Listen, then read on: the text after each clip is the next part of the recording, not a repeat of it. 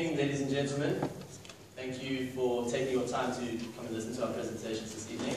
I'd like to start off by uh, thanking uh, two people in particular. The first is my supervisor, Brandon Collier-Reed, who uh, all the way back in the beginning of the year allowed me to modify the scope of my project such that uh, I could build something illegal, which is probably not being done before.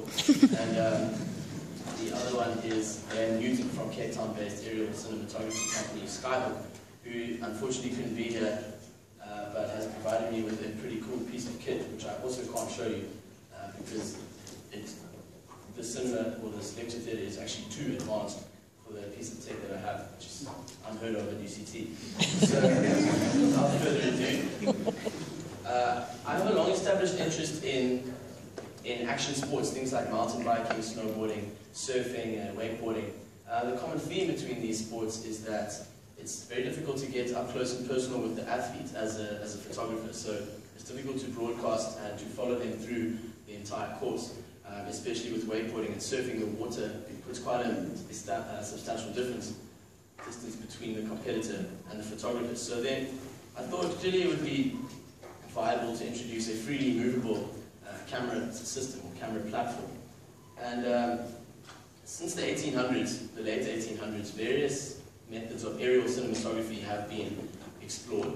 And I investigated these quite in depth in, in my project report. And I'll expound briefly upon a few of them now. The first is the most rudimentary method, the pole.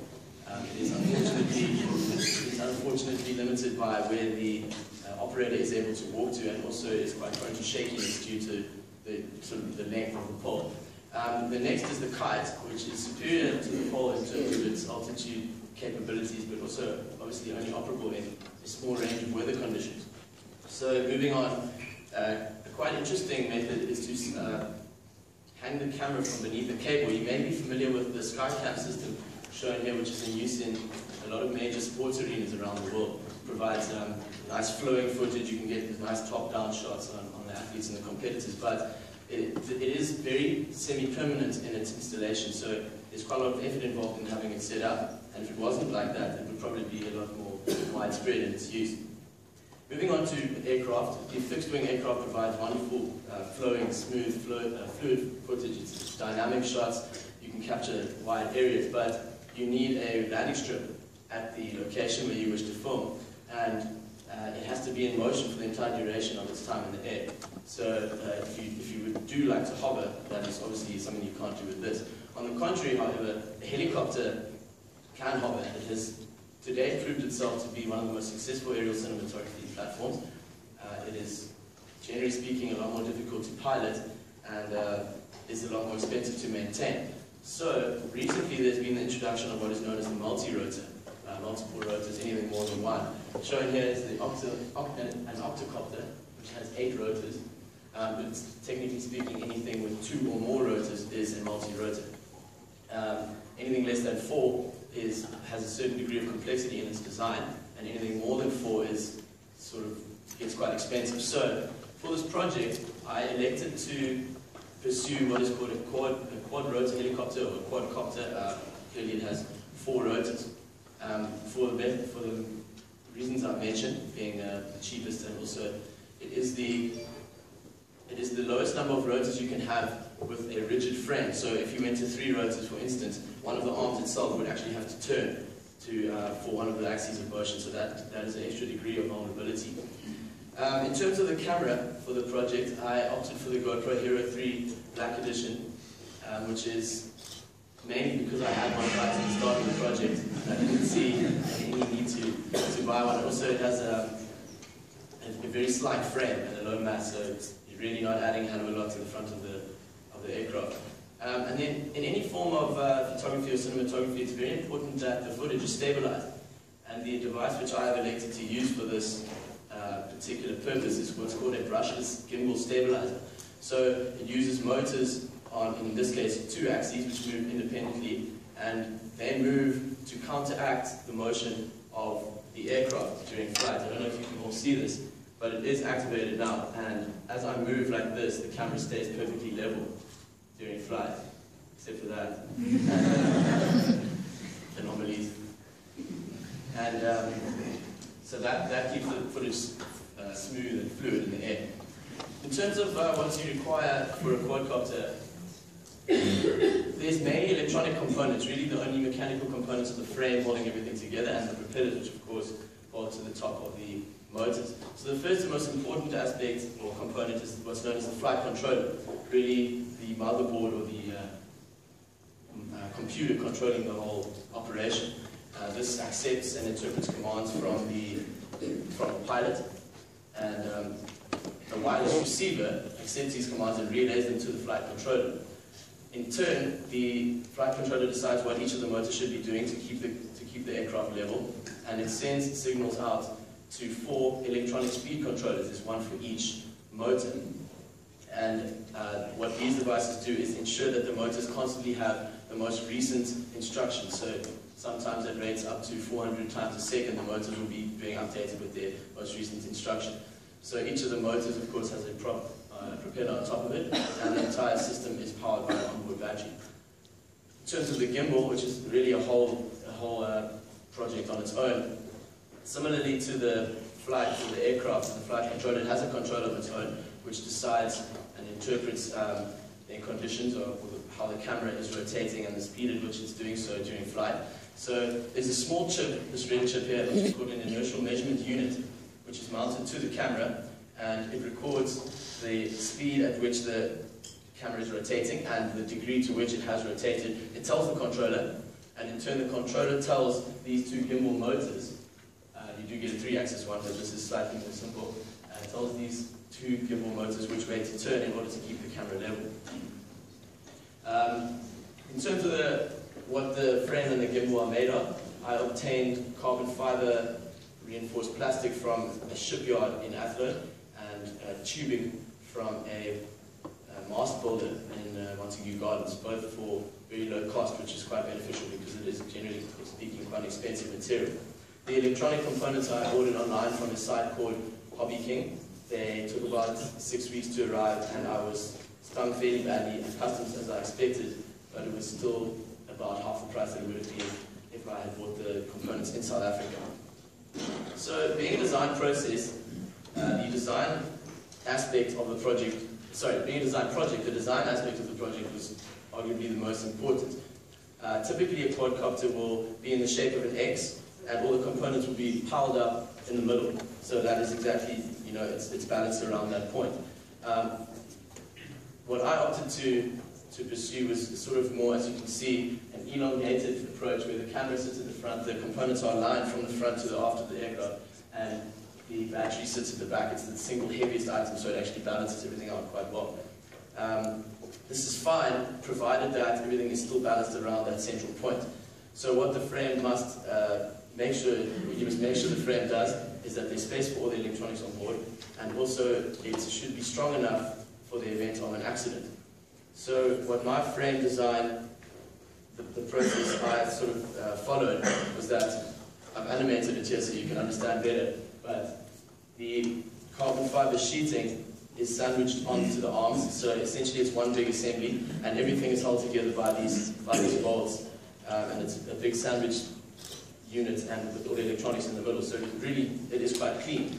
And then in terms of the gimbal, uh, sorry, in terms of the arm, it's a carbon fiber tube, which I, as I said, I got from a mast builder, and there are blocks of aluminium, because obviously it's difficult to mount a motor to a non-flat surface, so I've used blocks of aluminium, and I've clamped them down on the tubing, and this flat plate that you can see here is where the motor is mounted to. So I've also animated this to make it easier to understand.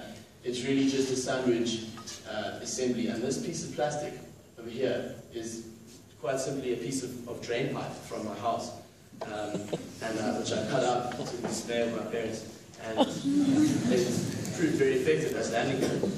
So uh, the design process really it followed those steps. I, I modeled everything in 3D on a computer application, and then I submitted those drawings and those models to the workshop, and they fabricated them from the parts that, or from the materials that I gave them.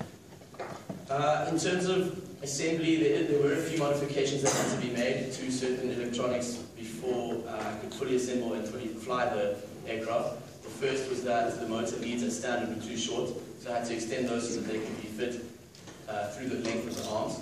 The next was that all four of the electronic speed controllers, which I fitted to the bottom of the aircraft here and are connected to each motor, those had to be soldered together so that I had one point of contact between the flight circuitry on the aircraft and the battery, which you can, which you can swap out as it becomes flat, instead of four points and one battery.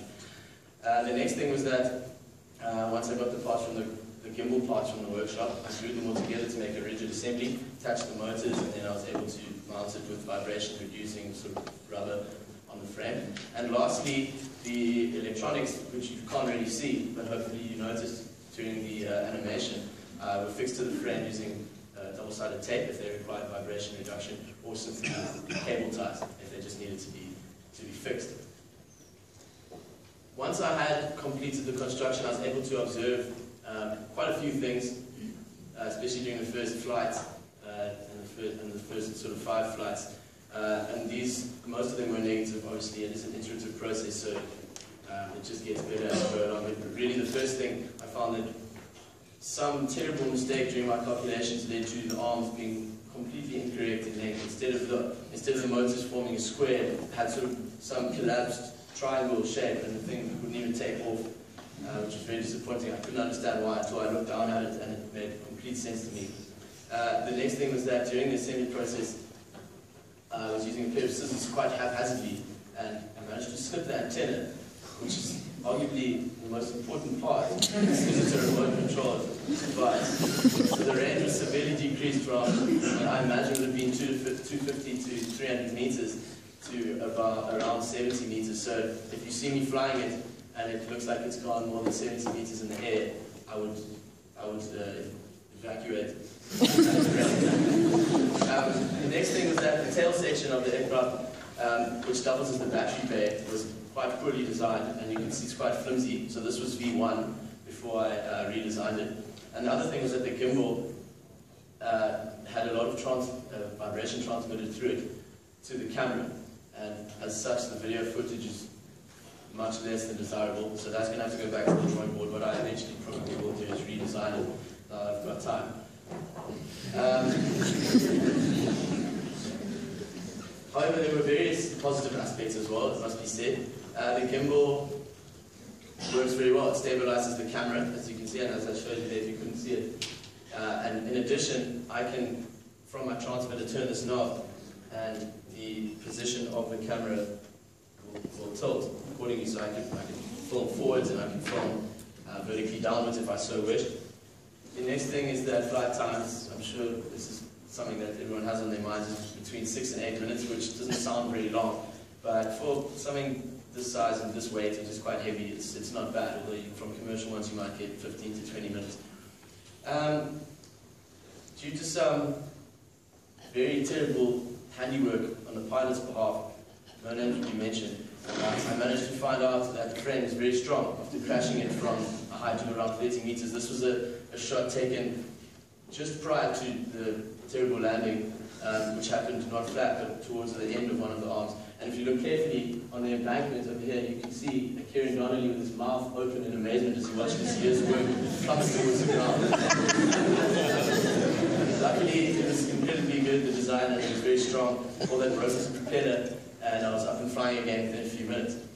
Um, lastly, in terms of the features, this device on top here is a GPS unit that works very well. I can locate it on a map. And I've also purchased a GP, uh, Bluetooth module, so I can actually, with, with an app on my phone, uh, while I'm in the field, I can modify settings, I can upload missions, and things like that uh, as I see fit, which is a, which is a great asset. In terms of the future of, um, of the as I'm uh, the first thing to be addressed is that the gimbal is uh, particularly shaky, so I ultimately probably redesign that an existing design, have it 3D printed, and then perhaps get some decent video footage, video footage for the first time. And then the flight controller had various features which I did manage to get working. Uh, the first thing was called GPS hold, uh, in which I'd be able to flick a switch on the transmitter and it would literally lock itself in position in the air um, at a certain latitude and longitude, which is very handy. Uh, the next thing is similar, called altitude hold, so wherever it is in the air, I flick another switch and it would lock to that particular height above the ground. which is also handy. So you could literally lock it in three dimensions and then film, you know, as you see fit. And then lastly, which is related to both of those, is a thing called waypoint tracking. So what you can see here is my neighborhood. I'm sorry, my parents about the privacy issues, but uh, 10 points on here, uh, which is a form of a mission. So you upload a mission, and it follows these points, um, and then well, it'll take off, follow the points, and then come back and land at my feet, which is pretty cool. But as I said, uh, it's all hypothetical at, at this stage. And then I had planned to fly the device, but at the advice of three separate academics whom I trust, whom I trust fairly, fairly well, they advised against it, partly because it's illegal and partly because it's incredibly dangerous, and the judges are sitting in the front row and probably hurt my chances. so what I will do is I will just fire up the motors, but I won't obviously take it off the ground. I'm not sure you can all see this, you probably cannot, but if you can hear it, you know it's working, so you can trust me. Uh, so, I promise you, it's spinning. Can't you put it on the table? Can't you put it on the That's table? really all I can show you at this stage.